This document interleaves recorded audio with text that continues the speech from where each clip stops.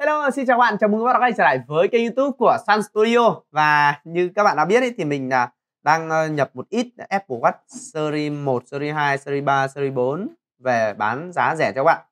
Thì uh, trong video hôm trước mình đã chia sẻ bạn rồi Mình bán chiếc Series 1 này với mức giá phải nói là quá hấp dẫn Và ngay lập tức đã thu được rất nhiều sự chú ý của các bạn rồi. Và ở dưới phần mô tả à, và ở dưới phần bình luận ấy, cũng như là trong inbox của mình thì rất nhiều người có hỏi mình là nên mua phiên bản 38mm thép hay là 42mm nhôm. Thì trong video hôm nay thì chúng ta cùng nhau phân tích và so sánh để xem là các bạn nên mua phiên bản nào.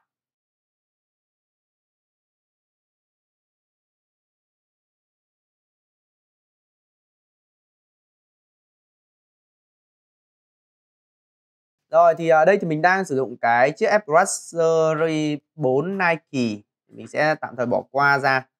Phiên bản này thì mình cũng bán, nhưng mà Ờ, chưa chưa đăng lên. Ờ, thì à, đối với hai phiên bản này thì mỗi bên lại có những lợi ích khác nhau. Mình sẽ đeo thử cho bạn phiên bản 38 mm vào tay này nó sẽ như thế nào. Thì bàn tay của mình cổ tay của mình nó là bàn tay kiểu trung bình không quá to cũng không phải là quá nhỏ. Thì uh, so với bàn tay mặt bằng chung ấy thì mình thấy là như vậy. Mình đang sử dụng cái uh, series 4 này là phiên bản 40 nên là nó sẽ to hơn cái phiên bản 38 này một chút mình thấy là nó khá là vừa phải nó không quá là to không quá là nhỏ.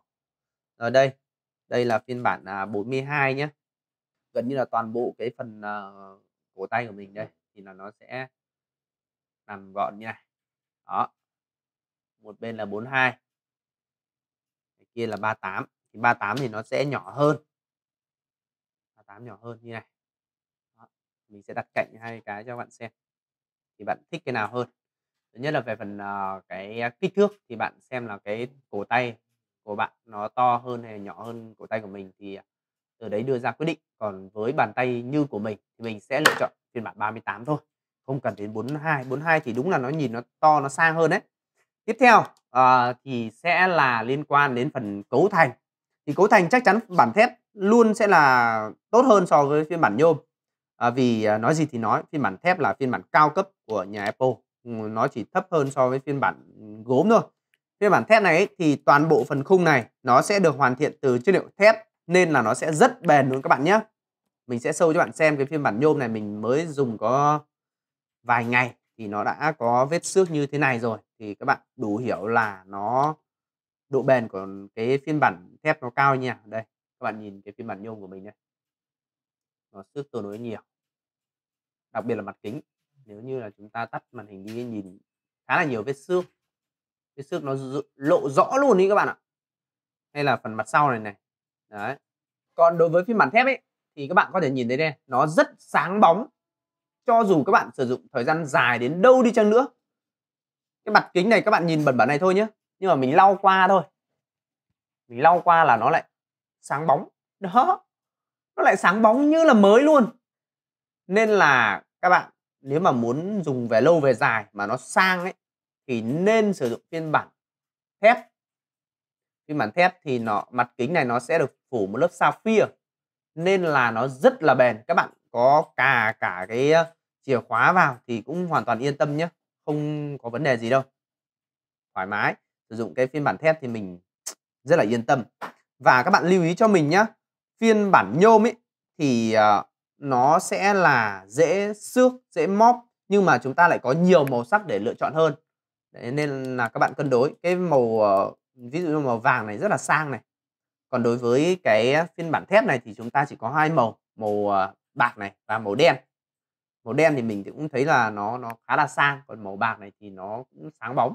Nói bên chung là Apple làm thì chỉ có đẹp và sang thôi chứ còn còn chẳng mấy phiên bản mà xấu. Đây là Apple Watch Series 1 và phiên bản là size 38mm chúng ta sẽ có cả cái phần uh, xoay digital crown này nó cũng sẽ là thép luôn nên nó sẽ là cực kỳ bền luôn các bạn ạ.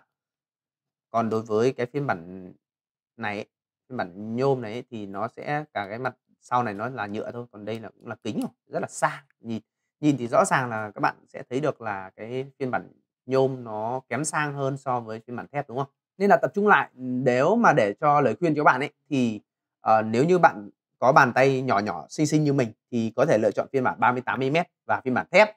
Còn nếu như các bạn mà có cổ tay to hơn thì các bạn nên lựa chọn phiên bản thép 42 chứ không nên lựa chọn phiên bản nhôm 42 tại vì là mức giá trên lệch nhau không quá nhiều.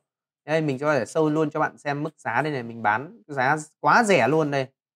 38 mm có 2 triệu tư là nhôm thép là 2 triệu 7 và 42 là 2 triệu rưỡi và 3 triệu. Đấy thì ờ, đây nhớ các bạn nhìn này 2 triệu 7 và 3 triệu thôi trên lệch nhau không quá nhiều. Thì các bạn tùy theo cái cổ tay của mình. Thì lời khuyên của mình đó chính là nên mua phiên bản thép. Series 1 này giá quá rẻ luôn không ở đâu rẻ bằng nữa. Còn uh, quan điểm của bạn như nào? Các bạn thích phiên bản 38 hay là 42 thì uh, có thể chia sẻ thêm với mọi người ở phía phần bình luận và cổ tay của bạn như thế nào. Hãy uh, cùng nhau chia sẻ thêm nhá còn bây giờ thì xin chào tạm biệt và hẹn gặp lại. Và nếu như quan tâm đến Apple Watch Series 1 hay là tất cả những series mình đều có hết ấy, giá rẻ thì ờ, hãy ủng hộ mình ở phần đường link phía phần mô tả nhá. Bye bye!